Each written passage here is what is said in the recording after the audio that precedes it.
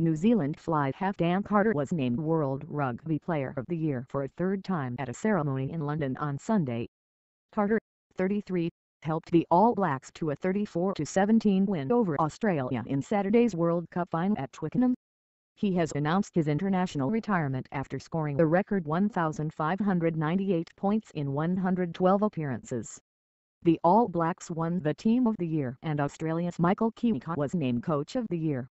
Carter, who also won in 2005 and 2012, joins teammate and All Blacks captain Richie McCaw as the only triple winners of the award, which was first given in 2001.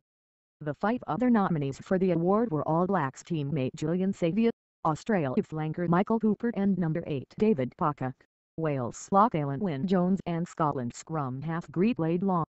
Carter is joining French club Racing Metro, where will become the sport's highest paid player.